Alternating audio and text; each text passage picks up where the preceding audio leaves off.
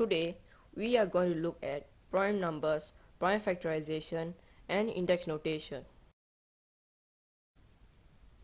This is Jack. His parents gave him 12 tiles to arrange a design. So how many possible combinations are there to arrange the tiles in a rectangle or a square? This might seem simple, but what if there are 16 times or even 169 times more? This is where prime factorization comes in. What are prime numbers? What is prime factorization? Why are they so important? Hi, this is Smart Study. What is a prime number? A prime number is a positive integer greater than 1 that cannot be formed by multiplying positive integers together. These numbers cannot be divided by integer more than 1. 0 and 1 are neither prime or composite. So examples of prime numbers are 2, 3, 5, 7 and 11. We need to learn factors.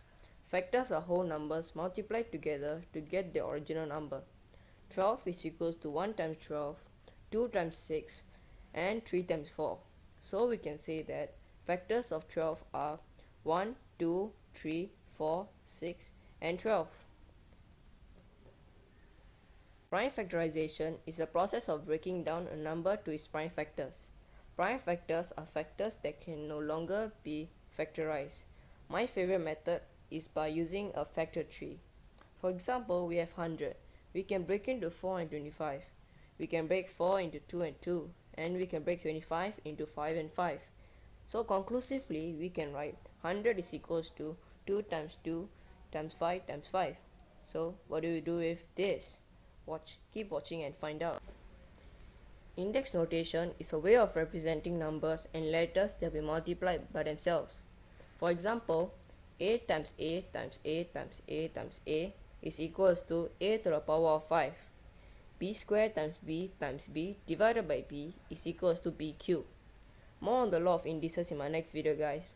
So you guys still remember this? Now that we know index notation, we can write it as this. So you guys still remember Jack? Jack now knows that 12 is equals to 2 squared times 3. So 1 plus 2 is equals to 3.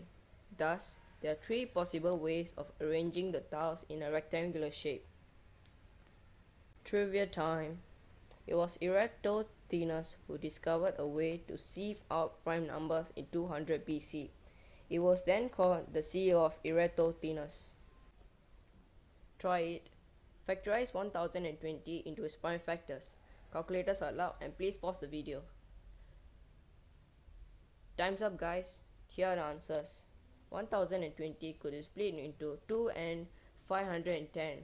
510 could be split into 10 and 51. And the rest, you know it. Thank you for watching. This is Smart Study and please subscribe for more amazing content like this.